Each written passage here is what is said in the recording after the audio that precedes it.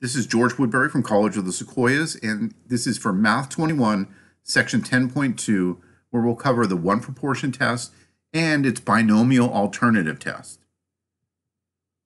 There are five steps for performing a one proportion test. First, state the hypotheses. Second, choose a level of significance. Third, state the test you're performing, as long as we know it meets the right conditions. Step four, compute the test statistic and the p-value. And finally, step five, make a decision about HO, we'll talk about that in a moment, and a conclusion about H1. We'll talk about that as well. Let's go back to the beginning. The first step where we state the hypotheses, there are two hypotheses to state. The first is the null hypothesis written H sub zero. This is always going to be of the form P is equal to some number that's given in the problem. There's a second hypothesis called the alternative hypothesis, and that's written as H sub 1. That will compare P to the same number, but it will use one of these three signs, less than, greater than, or not equal to. The wording in the claim will help you to figure out which sign to use for H1. The null hypothesis, H sub 0, is the one that we always assume to be true. And we're going to try to prove that H sub 1 is true. Um, H sub 0 is like the condition in a jury trial where we assume that the defendant is innocent. And then we try to gather enough evidence to show that that can't be true, and we accept the alternative hypothesis H sub 1, the defendant is guilty. Step 2, choose a level of significance. The level of significance we denote with the Greek letter alpha. And that's the benchmark between what is enough evidence to reject the null hypothesis and what is not enough evidence. The more important the hypothesis test is, the lower the level of significance should be. If you could be sued, if somebody could be hurt or worse, you want to think about a very low level of significance. If it's not that important, you can raise the level of significance. For the problems that we're working on, we'll simply read the level of significance directly from the problem. By the way, the one most typically used is alpha equals 0.05. Step three, state the test you're performing. At this point, we only know one test, and it's the one proportion test. And so we just write that in step three. We use this test whenever we're comparing the proportion of a single population to a particular number, which is usually a percentage. The sample data will have this form, x out of n, this many out of that many. We call that sample data again the sample proportion p hat. p hat is equal to x divided by n. Now, the data for this type of test will be qualitative or categorical in nature. Think about what question you would ask to gather the data, and think about what your answers to that kind of question would be. If you're expecting to hear categories, you're working with a proportion style test. There are two conditions, just like with confidence intervals for proportions, to check before we begin. The first one, notice, is a little different than what we've seen before. Instead of p hat, we're going to use p sub 0 this number comes from the null hypothesis. We'll also make sure that the sample size is no more than 5% of the population size by making sure that this inequality is true. Multiply the sample size by 20, and if the population size we feel is going to be larger than that, then we can assume that condition has been met. Step four, compute the test statistic and the p-value. We're going to compute both of these using StatCrunch in one step, the directions listed here. Stat, proportion stats, one sample with summary. On the first screen, just like with confidence intervals, we'll enter the number of successes x and the number of observations n. We'll then enter the value from the null hypothesis and we'll reset the sign for the alternative hypothesis. The test statistic that we're computing is a formula for determining how many standard errors, or you can think of this as standard deviations, the sample proportion p hat is from the claimed population proportion, p sub 0. This is the formula that we use. In the numerator, it finds out how far apart they are, and then it divides by this square root. And again, that gives a standard error, or what you can think of as the standard deviation for this distribution.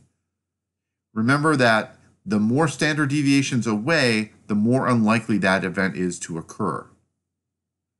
The p-value is the probability or chance of obtaining a sample proportion as extreme as or more extreme than the one that we found in our sample if the null hypothesis was true.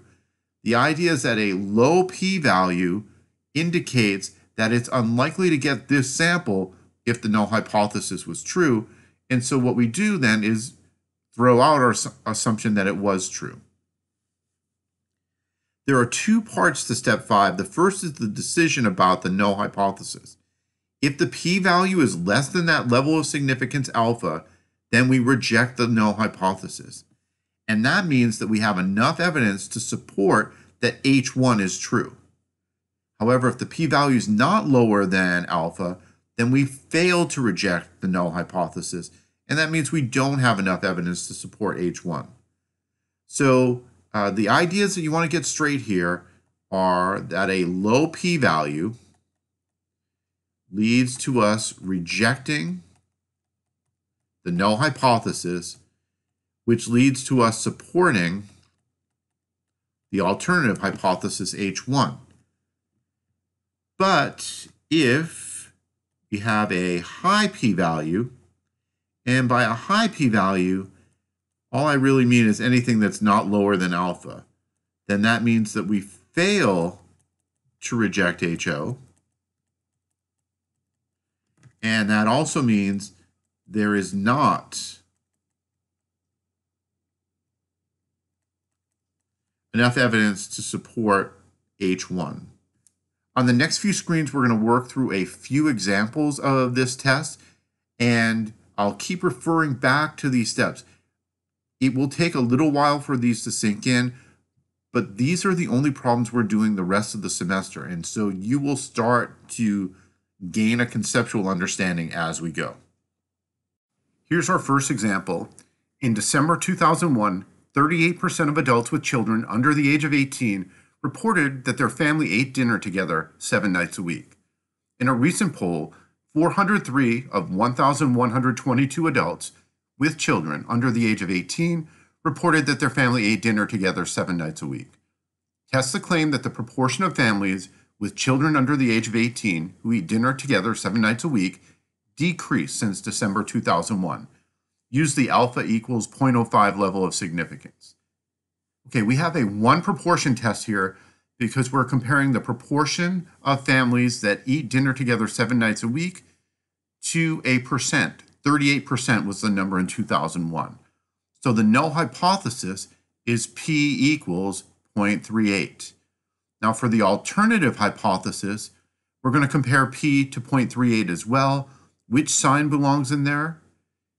We're going to use the less than sign because we're testing if it has decreased or if it's less than that value.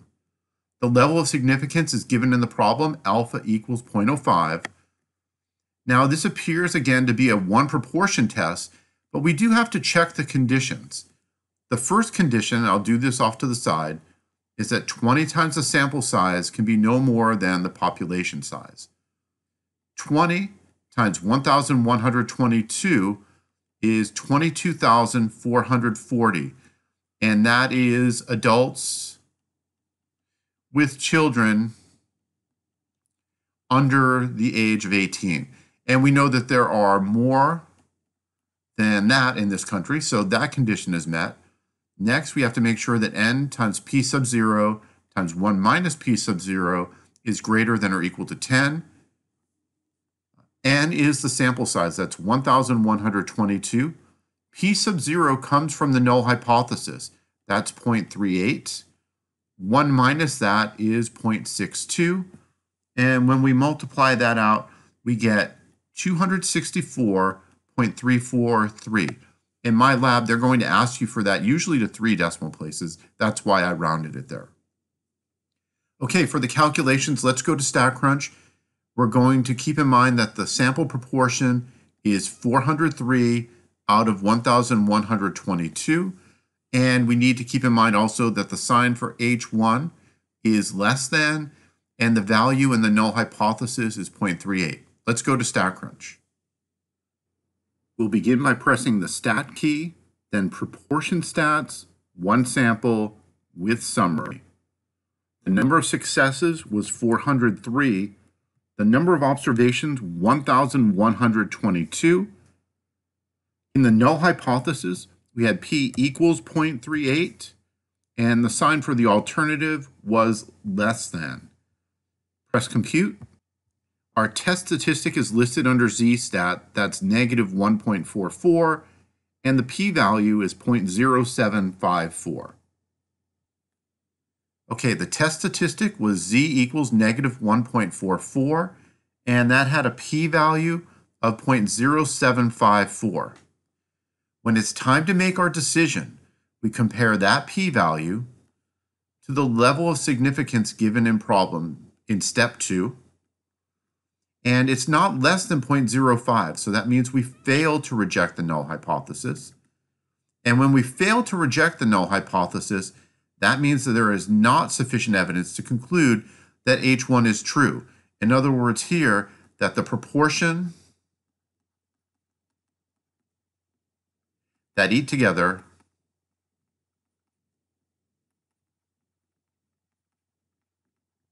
has decreased or is less than 38%. Here's a second example. A magazine claimed that 50% of college students are male. A recent survey of college students revealed that 344 of 800 college students were male. Test the magazine's claim at the alpha equals 0.05 level of significance. This is a one proportion test because we're comparing the proportion of college students who are male to a percent, 50%. Also, notice that we have one sample of qualitative data, 344 out of 800 were male.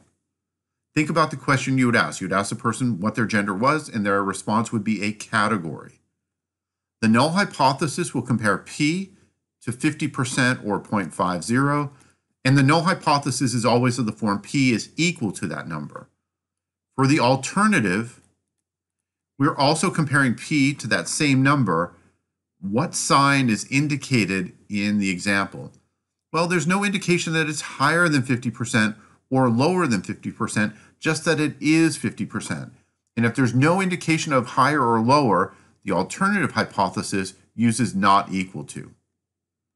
The level of significance is given in the problem as 0.05, and the test appears to be a one proportion test as long as the conditions are met. Let's check those conditions. First, 20 times n cannot be bigger than the population size. Here, 20 times 800 is 16,000 college students. And the question is, are there more than 16,000 college students? Since it doesn't even mention one particular college, just college students in general, there are definitely more than 16,000 college students. Next, to check n times p sub 0 times 1 minus p sub 0, that has to be greater than or equal to 10. And the sample size is 800. P sub 0 comes from the null hypothesis, 0.5. 1 minus that is also 0.5, and when we multiply that, we get 200, which is definitely larger than 10. So the conditions are met. We can go to StatCrunch for the calculations. The sample proportion was 344x out of 800n. And the null hypothesis, we have p is equal to 0.5 versus not equal to. So we'll enter all of that in StatCrunch to generate our test statistic and p-value. We'll begin by pressing stat, proportion stats, one sample with summary.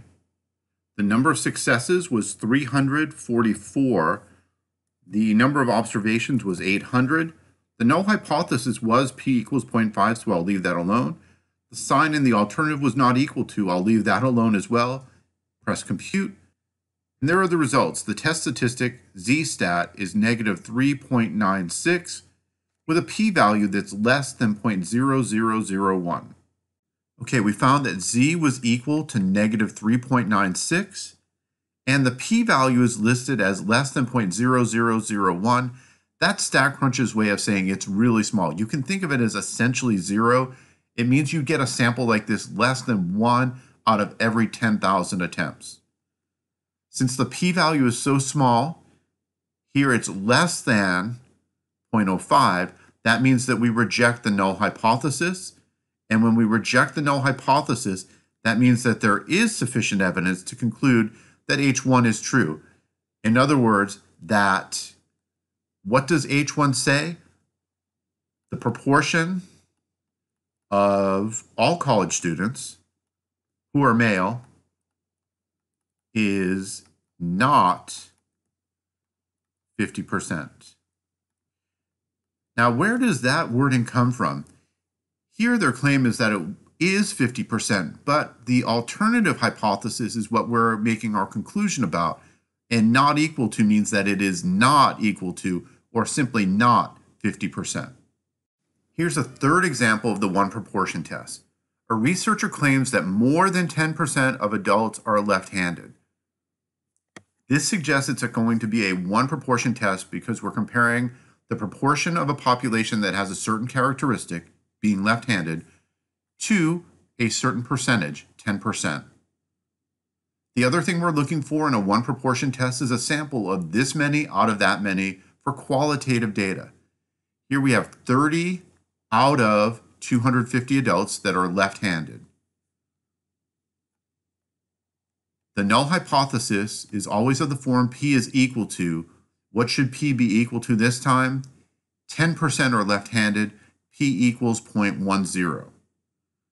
The alternative hypothesis, H sub 1, will also compare P to 0.10. What sign should we use here? Since the claim is that more than 10% are left-handed, we'll use P is greater than 0.10.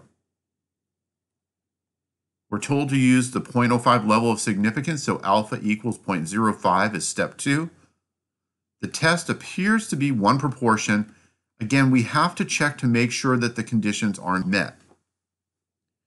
The first condition, 20 times n is less than or equal to the population size.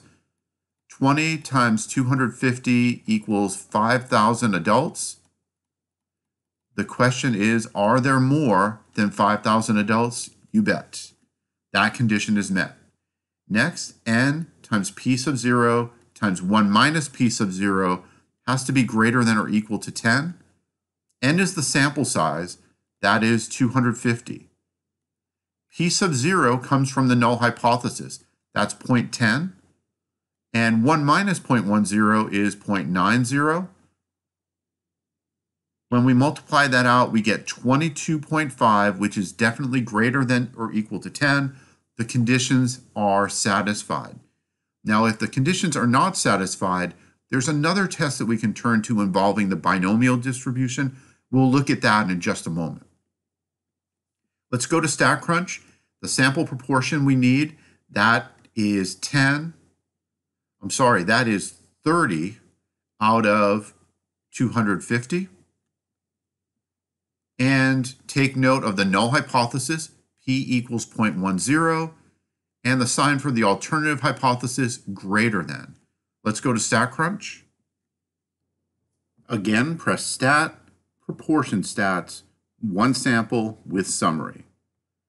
The number of successes was 30, the number of observations 250, in the null hypothesis, p was equal to 0.1 or 0.10, and the alternative was p was greater than 0.10. So reset the sign, press compute. Here are the results. The z-stat is our test statistic, 1.05. The p-value, 0.1459. Okay, we found that z was equal to 1.05 for the test statistic, and the p-value was 0.1459. Now, when we compare that to the level of significance, it's not less than 0.05, That means that we fail to reject the null hypothesis. And when we fail to reject the null hypothesis, that means that there is not enough evidence to conclude that H sub 1 is true. In this problem, that means there is not sufficient evidence to conclude that more than 10% of all adults are left-handed. Okay, let's see what happens when the conditions are not satisfied. Now, if any of the conditions for this one proportion test fail, we can still perform the test by using the binomial distribution to compute the p-value. The conditions are listed to the right. The first was n times p sub 0 times 1 minus p sub 0, where p sub 0 comes from the null hypothesis. That product has to be greater than or equal to 10. Also, the sample size can't be more than 5% of the population size. If either condition fails, we're going to switch to this alternative test. There are only two steps that get changed. In step three, we'll add on binomial to the name of the test, one proportion binomial. In step four, there's not going to be a test statistic that we'll write. Instead, we'll compute the p-value using the steps shown below with the binomial calculator in StatCrunch. Now, the test statistic technically is the number of successes. We're just not going to write that. To compute the p-value using the binomial distribution, we'll open the binomial calculator in StatCrunch. In the top row, we'll fill in the sample size for n and the value of p sub 0 from the null hypothesis, that will go in for p. Next, we have to pick the right sign to use and the value for x that we're going to enter is the number of successes from the sample. If h sub 1 involves the symbol less than, then what we have is a left-tailed test. We're looking for something significantly lower than we would expect if HO was true. In StatCrunch, we'll use the less than or equal to sign when h sub 1 is a less than sign. Notice that we're adding on an equal sign there because we're trying to find the probability that we find a sample this extreme equal to or more extreme, that's where the less than comes in. If h sub 1 involves the sign greater than, then you have a right-tailed test, and we'll use greater than or equal to for the number of successes. Now, if the alternative hypothesis is not equal to, this is a little more challenging. There are two tails that we have to work with in this case. However, we're going to compute the p-value for one of the tails and then double that. So if your sample proportion's lower than what we expected, then we'll find the left tail p-value using the less than or equal to sign, and we'll double that. Otherwise, we'll double the right tail p-value. Now, if you make a mistake and you select the wrong tail, when you double it, that result is going to be greater than 1, and a p-value is a probability. It cannot be greater than 1. That means that you've used the wrong tail. Just switch to the other tail. Example 4. A counselor claims that more than 30% of college students have divorced parents. A random sample of 40 college students revealed that 18 had divorced parents. At the 0.01 level of significance, test the counselor's claim. Before I check the conditions, I'm going to go ahead and write the null and alternative hypotheses. Remember, the null hypothesis is of the form P equals, and here we're using 30%. So P equals 0.3 or 0.30. For the alternative hypothesis, we're going to compare P to 0.30, and we need to come up with the right sign. The counselor claims that more than 30% have divorced parents. That's going to be P is greater than 0.30. Now that I've written that value down, I can check the conditions. Remember that's n times p sub 0 times 1 minus p sub 0.